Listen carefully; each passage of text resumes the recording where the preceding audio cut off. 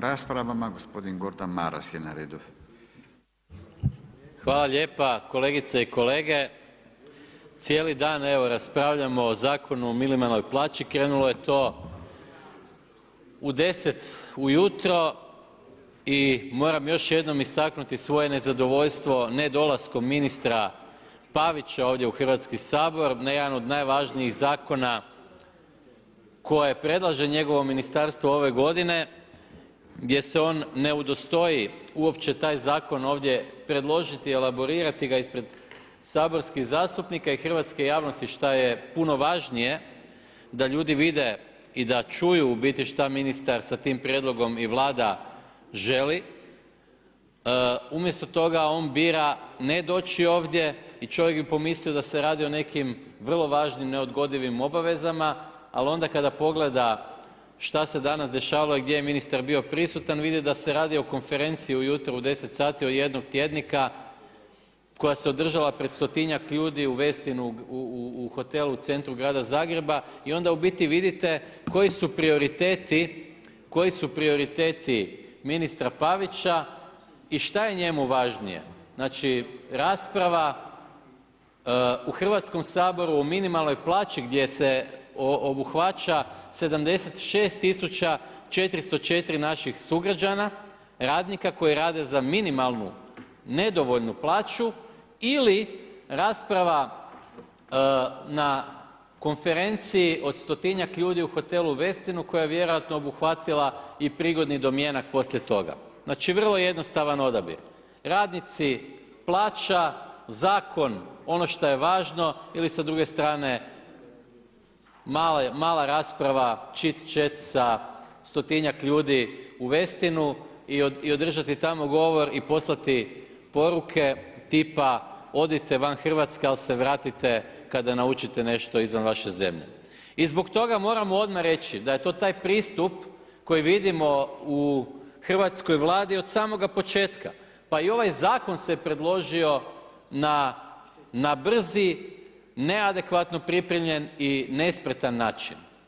Sami sindikati su rekli da se vjerojatno premijer Plenković preko noći sjetio deficit je nešto pao, ajmo vidjeti da li možemo nešto povećati pod pritiscima javnosti, opozicije koja je predlagala prijedlog Zakona o minimalnoj plaći prije već 6 mjeseci i najavila svoj prijedlog koji je sada u saborskoj proceduri i onda je sastanak kako kažu u sindikatima organiziran danas na sutra u 10 sati ujutro i njima je jedan dan ostavljen da uopće komentiraju i daju svoj prijedlog na predloženi zakon. I onda ne možete imati ništa bolje od ovoga što je ovdje predloženo, a to nije dobro u više stvari. Prvo, 130 kuna, rekao sam još jednom pokazujem gospodinu Bačiću koliko će on osigurati ljudima povećanje dnevno plaće i ovih 5 kuna ću mu osobno uručiti nakon svoje rasprave da i on danas dobije 5 kuna više kao što ovim prijedlogom zakona bi trebali dobiti zaposleni na minimalnoj plaći. 5 kuna svaki dan, evo to je HDZ osigurao ljudima na minimalnoj plaći. Njih 76 tisuća 404. I šta se sada ovdje radi?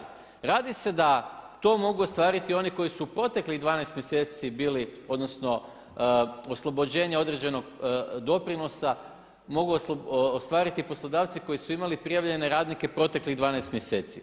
Kakva se to poruka šalje kolege?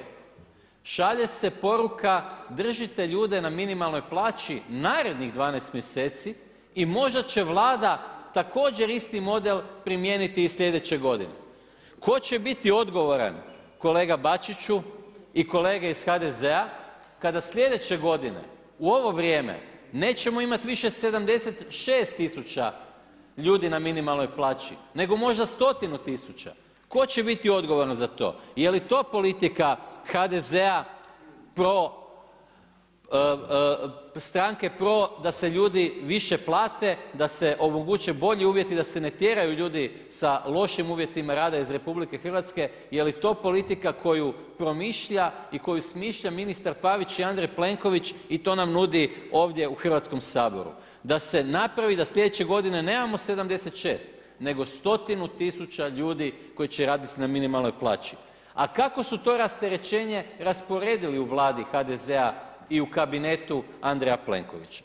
250 milijuna kuna se kakti oslobađa doprinosa 32 tisuće poslodavaca.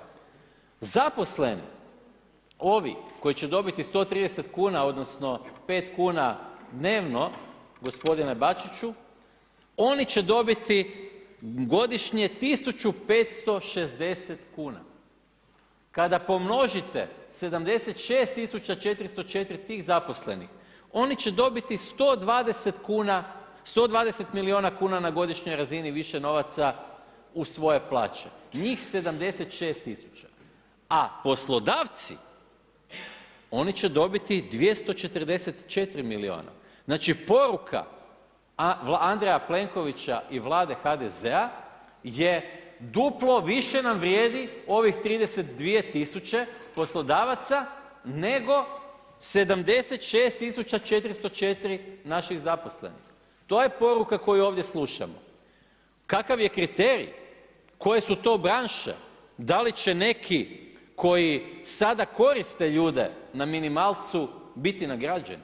Da, bit će nagrađeni. To je također poruka Andreja Plenkovića i HDZ-a. Bit će nagrađeni zbog toga što oni koji su primjerice u sektoru prijevoza ili u sektoru zaštitara, znači usluga gdje ljudi moraju raditi taj posao, a ne treba neka posebna edukacija, ljudi su prisiljeni raditi i u pravilu su prijavljeni na minimalcu, ti će biti nagrađeni. Te tvrtke rade desetke milijuna kuna dobiti svake godine, a primjerice jedna tvrtka koja ima 600 takvih radnika zaposlenih na minimalcu će ostvariti stimulans, beneficiju koju je osigurala ova Vlada u visini 2 milijuna kuna godišnje. I to je ta pravda i to je to poštenje i pravednost i stimulacija ljudi da ostanu u Hrvatskoj koje nam nudi HDZ.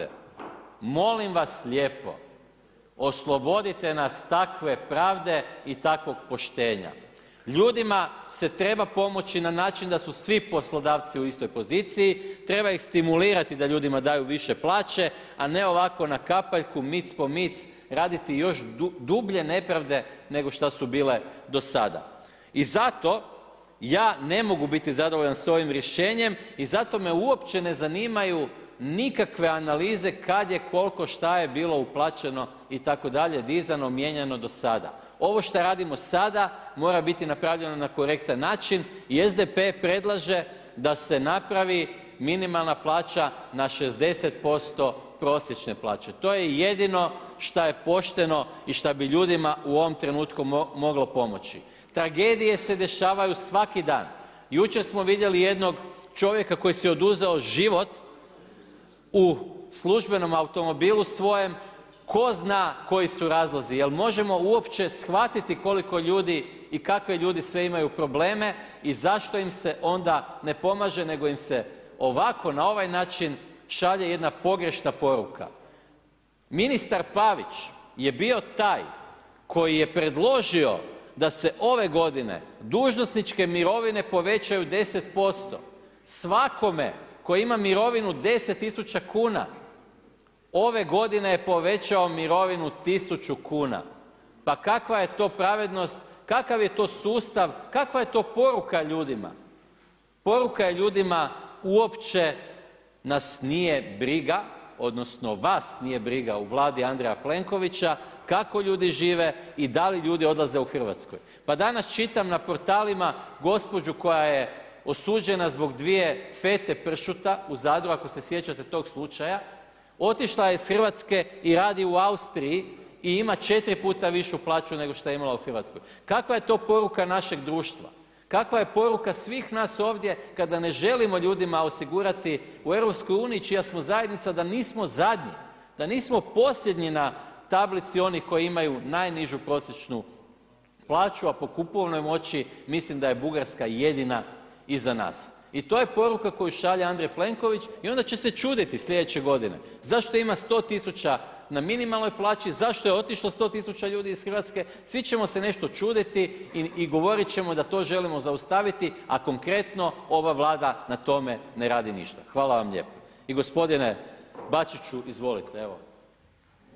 E, tražio je repliku gospodin Mrsić, izvolite gospodin Mrsić.